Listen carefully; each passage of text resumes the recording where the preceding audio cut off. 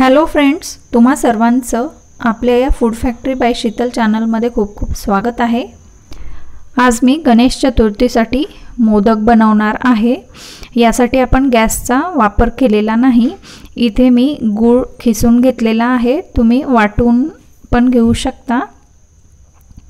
तुम्ही जो गूळ घेत आहात तो थोडासा सॉफ्ट असला पाहिजे. इथे मी अर्धी वाटी गूळ घेतलेला आहे आणि त्याच वाटीने अर्धी वाटी भाजलेले तीळ घेतले आहेत आणि दोन टेबलस्पून कट केलेले ड्रायफ्रूट्स घेतलेले आहेत.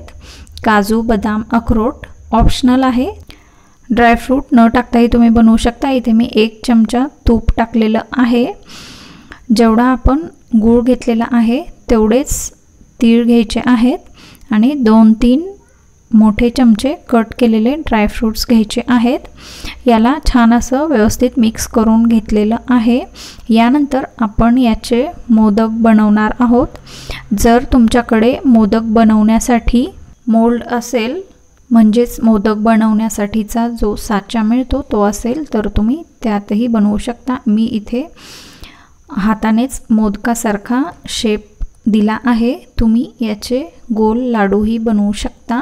हे मोदक तुम्ही एअरटाईट कंटेनरमध्ये स्टोअर करू शकता. फ्रीजच्या बाहेरही हे बरेच दिवस टिकतात. गणेश चतुर्थीच्या दिवशी गडबड वगैरे असेल तर तुम्ही असे मोदक तीन चार दिवस अगोदरही बनवून ठेवू शकता. आता मी गोल असा लाडू बनवणार आहे.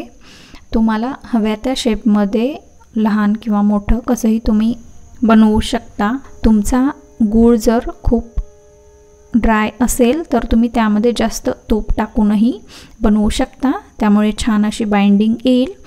पाहू शकता हे मोदक मी बनवले होते.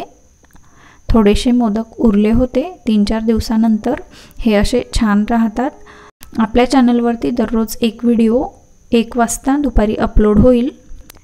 तुम्हाला रेसिपी आवडली असेल तर नक्की लाईक शेअर करा. कमेंट करा. व्हिडिओ पाहिल्याबद्दल खूप खूप धन्यवाद.